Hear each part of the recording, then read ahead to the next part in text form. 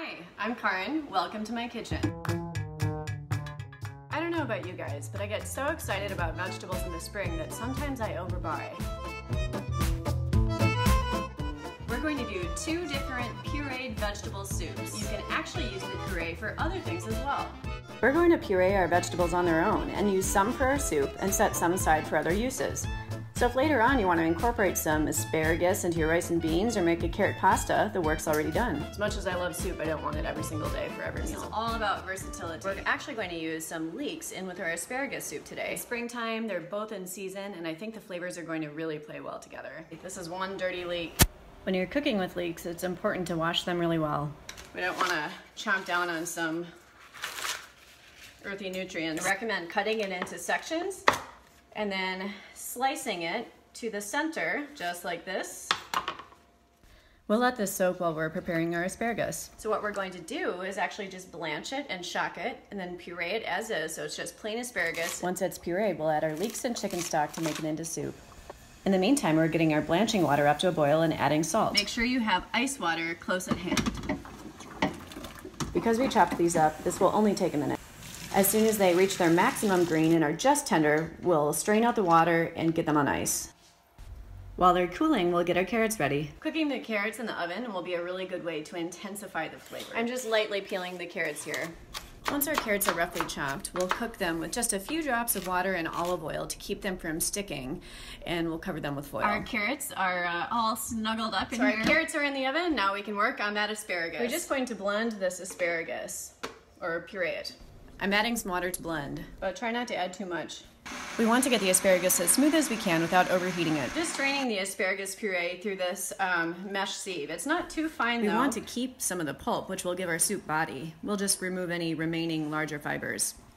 Now onto the leek. I'm just cutting this really thinly right here. We just have a little bit of olive oil here in this pot and we're going to sweat our leeks. Once our leeks are nice and tender, we'll add just a little bit of chicken stock to them. We're going for a gentle cook here without any coloring. We're just going to cover these leeks with a little bit of our chicken stock that we made from our last whole chicken. Now we keep cooking until they're really tender. I'm going to also add just a splash of this Gruner from my friend Erin from New France Wines. Oops. Once my heavy pour cooks off and the leeks are tender, I'll blend them with the stock. It smells just heavenly. Leeks can be a little fibrous, and we just want them here for flavor, so we're straining them in a finer mesh. Now this beautiful aromatic liquid is ready for the asparagus. Just about, I added about a cup and a little more right there.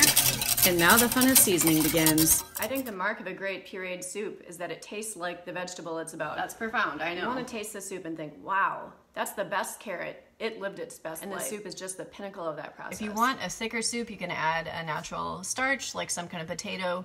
Um, you could add a little bit of um, flour to this. I want to keep these soups light and vibrant for spring. So we're going to season it as is.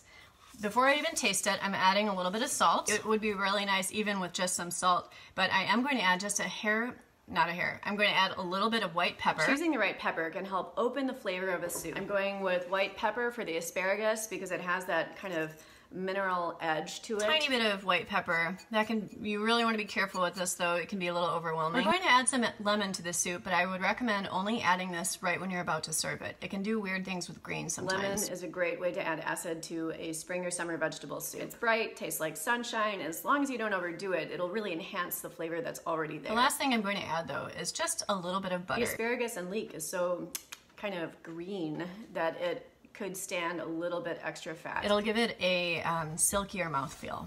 I just used my immersion blender here to blend it in. All right, our carrots are ready, so now we can puree those. With just a little bit of chicken stock, this is silky smooth. You could also use veg stock. I'm freezing most of the puree, but I'll season a small portion as soup. Adding some salt even before I taste it. In order to keep us reminded of the natural sweetness of carrot, I'm going to add just a bit of brown sugar. It'll just kind of give that a nice boost, but not so much that it tastes sweet. I'm using cayenne pepper because it's such a warm heat and it will blend well with a carrot. It'll be unobtrusive. If it had a color, well, it is actually orange. I was gonna say it would be orange. But the one last thing that this needs is You all know how I feel about acid. we just want it to um, kind of make it lively again, like you're eating a fresh carrot. You can decide whether or not you want to add fat to your soup based on the natural texture that it has. I really love the texture where this is at as is. And there's a little bit of fat that was in the chicken stock. So I'm not even gonna add butter, but we are going to top this off with some creme fraiche. Now that both soups are done, we're ready to garnish. I like to think about garnish as a way to enhance an herb, an oil, something crunchy like a nut or a bread, not to distract from it. That's some carroty soup right there.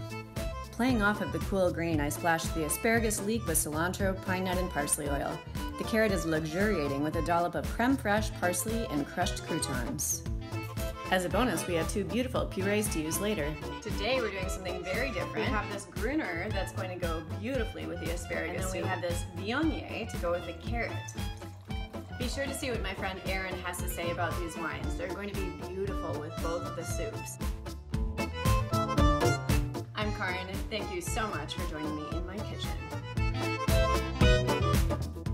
Story of my life. I'm always dropping stuff back Not there. crazy rolling, but you know, boiling. And then add a good amount of salt to it. Really good.